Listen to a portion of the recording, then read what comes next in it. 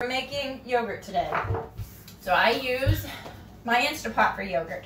And I have already put one cup of water in this and then I put my pressure lid on and I let it, man, I did manual pressure for two minutes. That was just to sanitize my stainless steel container. Poured that water off, took that other lid off. I'm just gonna use the glass. I have it off. I'm going to pour one gallon, and this is actually the smaller version guess it's the medium version. I think they have a very small one. It fits one whole gallon in here. I am going to turn it on to our yogurt setting and hit adjust until it is boil. Put it on that and we're gonna let that be. This, I love have using my pressure can, pressure canner, my Instapot for this yogurt and also for buttermilk. I use this to, it's, this is actually essentially pasteurizing our milk. I only do that for yogurt and buttermilk because that is a very specific strain that I want to grow in it. And we will add that culture in a few minutes. Uh, we'll let this boil and I will bring you back. It will start to beep and it will tell me yogurt when this has reached the temperature. Um, and then we will cool that temperature down to 112. In the sink, I run cold water um, in the sink, set this in it, and then I kind of whisk uh, uh, the milk and just um, watch the temperature till it gets down to 112 and then I add my culture which will be yogurt from the last batch for a gallon. I'll probably use half a cup of our old yogurt from last time we made it and then we will mix that together and then we'll put it back in our Instapot container um, overnight. We'll actually put the yogurt setting on this but I'll, I'll show you more. Okay, my Instapot beeped and told me that it, it, it flashed yogurt. This has already been up to temperature. I ran cold water into my sink. I'm going to get my pot of of its hot milk, pasteurized milk now. I'm going to set it down in my sink and I'm going to use a thermometer. This is my cheese thermometer. I'm to set it in there. I have not checked the temperature yet to see what we're at. And I whisk this, um, this milk around a little bit. This just helps to bring that temperature down. Okay, I'm at the 150. Um, you can run ice water or you can put ice in the water that is around. You do not want to get any water in your milk, right? Nobody wants any watered down milk or yogurt. But you can run I cold water in the sink around it. It really cools down pretty quickly when you're doing it this way.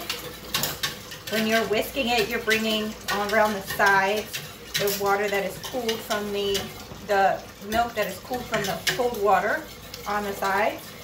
You're mixing in and getting hot water back up, so it really helps if you take the time. I'm not like making a big foamy mess, but I'm already bringing it down. It is 140. this really cuts the wait time down. I mean, you can set this and just wait for it to come down. But if I did that, I would end up forgetting about it and wasting a gallon of milk. And like I said, you can throw ice in the water to cool it even faster. We are down to 125. We're trying to get this temperature down to 112. At 112, we are going to add our culture. So this is to be yogurt, so we're going to add yogurt culture. We actually just use a half a cup from our previous gallon of, of yogurt. This is my yogurt container that I'm going to put it in. This is a half gallon. I made a whole gallon of milk into yogurt. But I'm actually going to strain this out and make it into a Greek yogurt.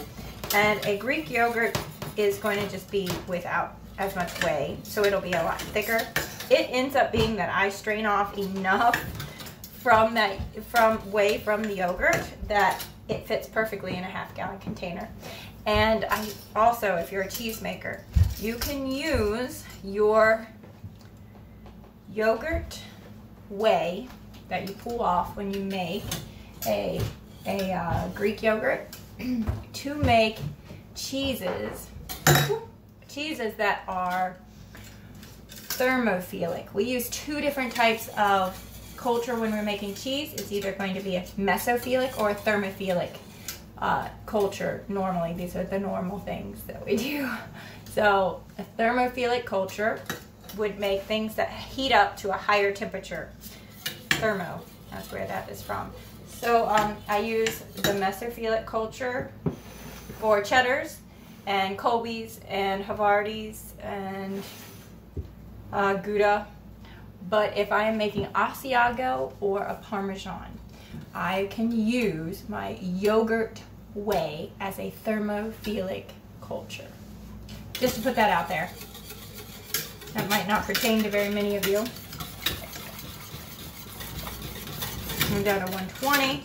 Sorry, I got distracted talking about cheese things. Uh, one.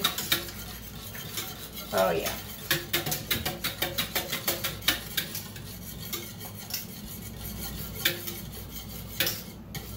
Okay, down to 110. Perfect timing. I'm going to drain this water because I don't really want it to get any cooler. And I've got a container from my last batch of yogurt, half a cup. Put that down in there.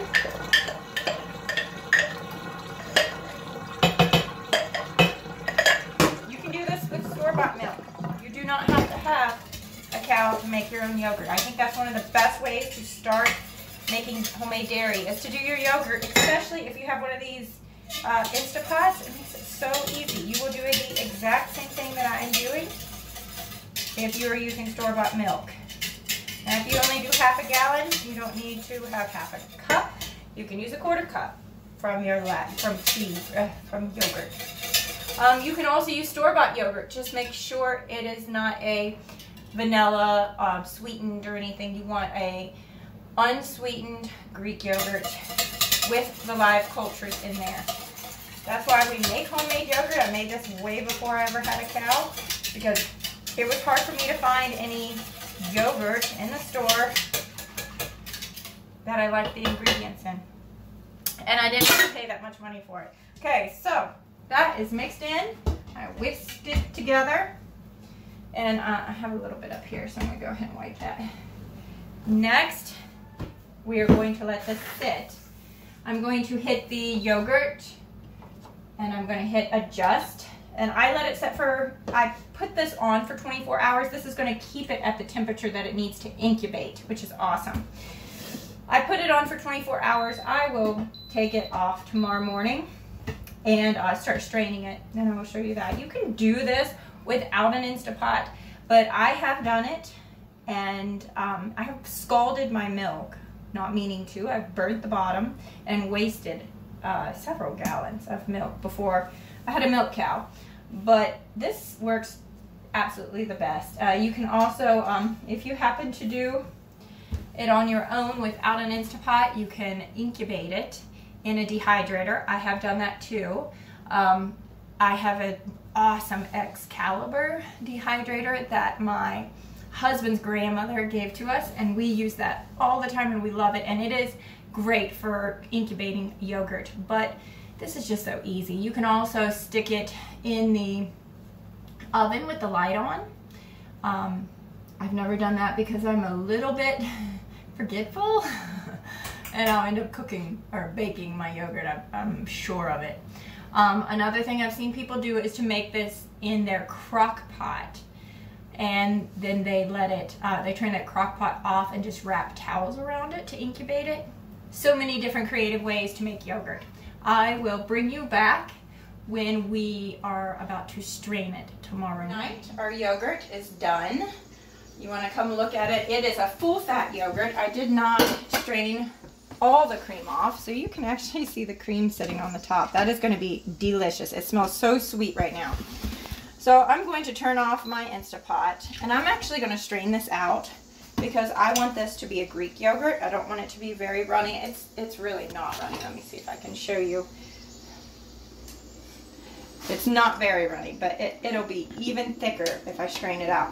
So I have a cheesecloth and I have a bowl.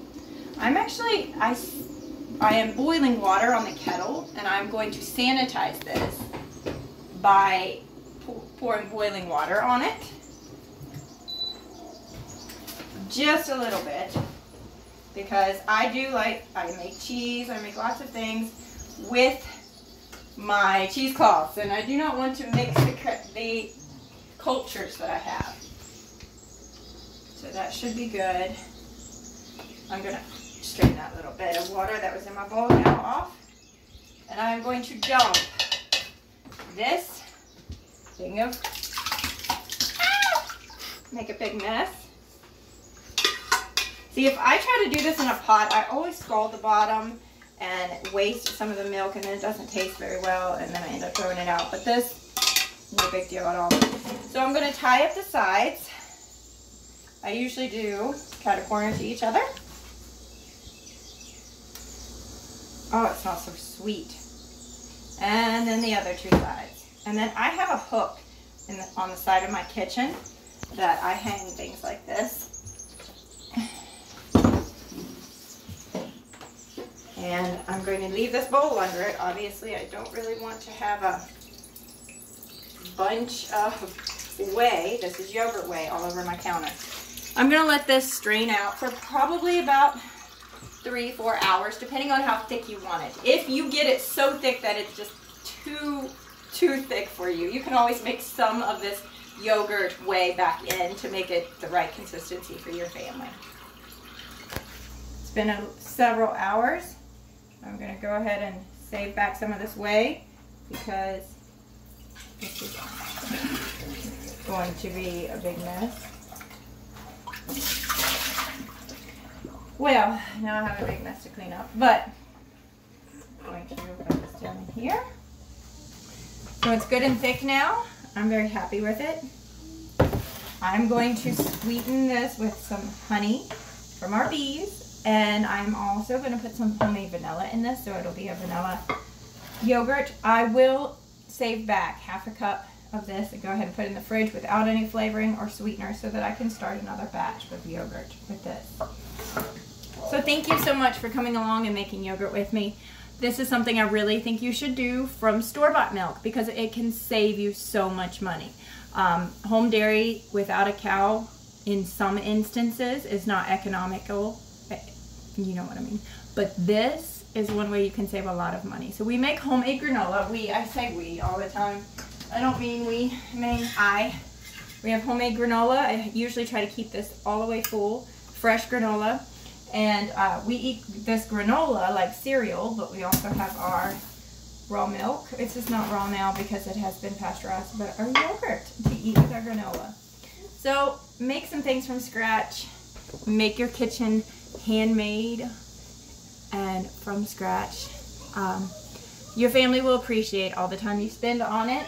And I think you will benefit in so many ways from your health to just your um, your peace about the food that you're getting. Have a great day. God bless you. And subscribe if you enjoy this kind of content. Bye.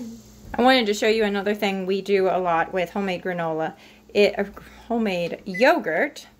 We will take berries. These are like blackberries or blueberries from our bushes outside and make a simple syrup. And then we will put that on top of our homemade yogurt. That is one way we use up a lot of our fruit too.